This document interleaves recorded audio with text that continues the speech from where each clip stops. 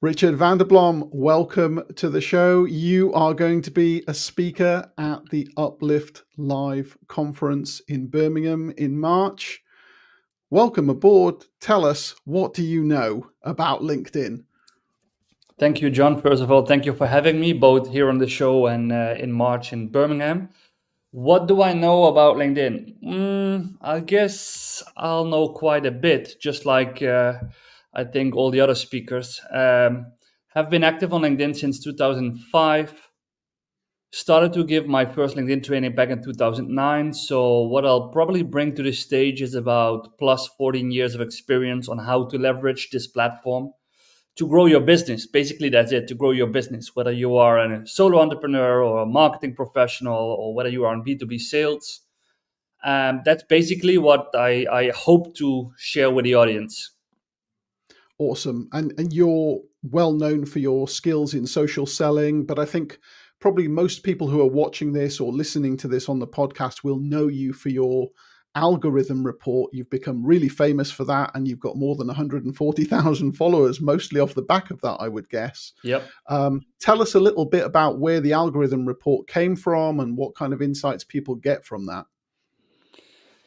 Yeah. Um, well, working with um, so, so, so my main focus is to work with mid-sized, larger enterprises. And back in 2018, we had to uh, enter uh, well two enterprise clients, and they were baffled by the fact that when they publish um, uh, a white paper or a really well thought article, they would reach, let's say, 5,000 views. And they were baffled by the fact that if they would publish like a team picture of like an event that they would participate in, like I don't know, half the marathon of Boston, they would get like 30,000 views. And they were like, we, we want to switch that. You know, we want to have 30,000 views for the article and just 5,000 views for the. So they started to ask us questions. And back then, we we only knew from our own experience, based on our own postings, what would happen, but we could only guess. And then I teamed up with uh, some really amazing people, and, and they helped me to uh, I delivered them with the questions and they started to research like what happens if somebody likes, if somebody comments, what happens if you change the post in terms of format. And basically, we released like an algorithm report in October 2018. That was the first one. And it was actually shared first with the two clients and they were very, very enthusiastic about it. So I thought, okay, let's let's just publish it. And it went like it went it, it blew up. It blew up. It I remember I had almost one million uh, uh, views on that post, which was for me back then it was like huge. Um, so that was the start actually, and back then I didn't thought even about redoing the same thing next year. I just thought like, okay, it's a one-time exercise, job done. And then I think it was something in May 2019, May June of June 2019 that people people actually came back to me and said like, are you going to do the research again this year because we have seen some changes and that was when like it occurred to me like hey maybe if we do this on a more regular base then you know people would benefit from it. So we started to do it again october same same month 2019 it went even bigger. We had more data because we were more prepared. We know how to examine it. And and that's actually how it how it started. And and, and indeed you're right. That's when also my personal growth accelerated my personal reach accelerated because social selling is really cool, but it's rather boring to post on. But if you post like the secrets of LinkedIn content algorithm, well, you probably know that. Then people like really want to have this and really grab, you know? Yeah. And and tell me, do you agree that the pace of change on LinkedIn is speeding up? Yep. In, in which case, how often are you now doing this algorithm report?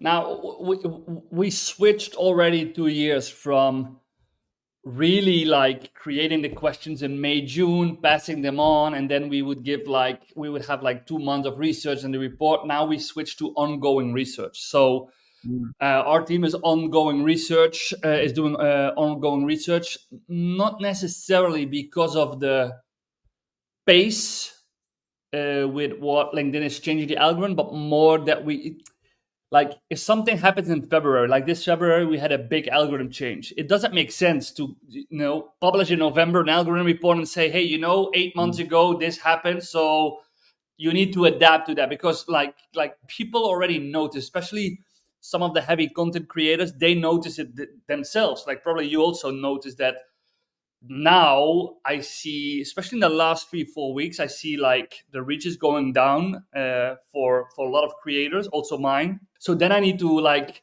like directly switch with my team and say hey i want a data i want a stats to back this up because this is what i'm seeing so now it's ongoing um, but yeah, I do agree that that changes are more rapidly. Yeah, and and probably because they're launching more features, more new stuff, and every time they launch new features, for example, collaborative articles, AI impacts the algorithm because they need to place it somewhere in the feed, which means, you know, the reach has to come from from somewhere. No.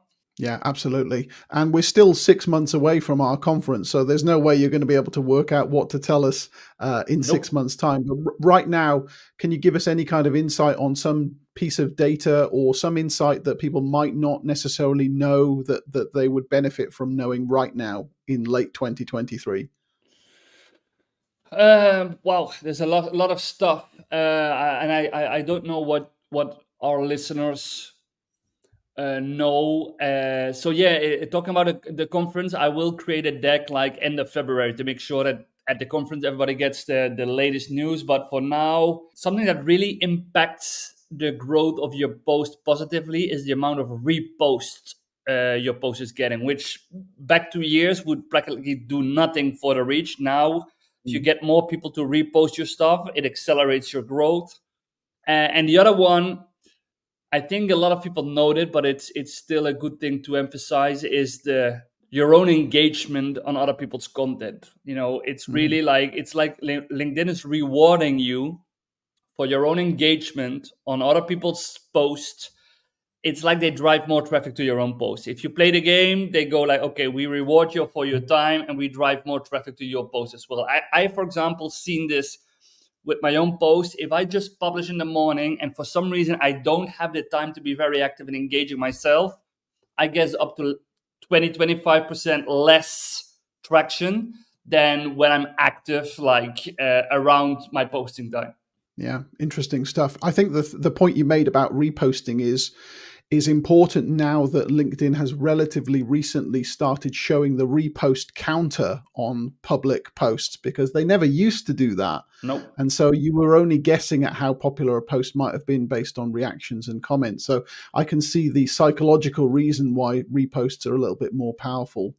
Yeah, and especially especially the instant repost, John. So and that's very interesting because that's not like the other social media platforms where if you share something and you write something of your own words, you know, to guide it, it would create more impact. On LinkedIn is the other way around. Instant repost gets more visibility than a repost where you like have two or three lines of your own words. So yeah, that's interesting. Yeah. I'd re- one thing I'd really love to know is whether a high number of saves on a post would increase its visibility, but you can't see how many people have saved a post, can you? No, but I'm 100% sure that people saving your posts obviously is a positive indicator to the LinkedIn algorithm that people are engaging. Yeah. I mean, it, it should be one of the most important indicators because people saving your post means, hey, I don't want to lose this type of content. So definitely. And it's a shame that you can't see it. Also, the number of people that ring the bell in your profile for me would be a very cool indicator if really people are engaged with the content. Like mm-hmm. I don't want to miss a single post of this person. But you know, Absolutely. let's hope LinkedIn brings us more data, uh, more data in the in the near future. Yeah, let's hope so. Richard, I could talk to you for hours because this is all fascinating stuff for me. But please, everyone, if you want to hear from one of the absolute apex operators of LinkedIn, come to Birmingham in March. In on the twenty first of March, Birmingham, UK. Get your ticket at uplift-live.com. You can see Richard in action and seven other Apex operators of LinkedIn talking on a whole day event focused mm. purely on LinkedIn. It's going to be fantastic. Richard, thank you so much for joining me. I can't wait to meet you in person. Thank yeah. you for coming all the way over from Spain to join us. And I'll see you in March. Cheers. Yeah. Looking forward to it, John. Thank you.